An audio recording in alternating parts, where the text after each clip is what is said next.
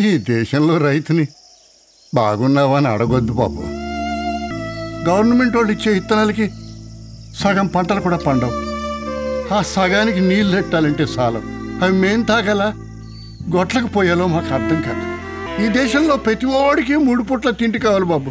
కానీ దాన్ని పండించే నాలాంటి రైతుని వాళ్ళు పట్టించుకోరు. పది మందికి అన్నం పెట్టని చదువు? ఏం చదువు? సంకనగడానికి ఆ చదువుని అయ్యా!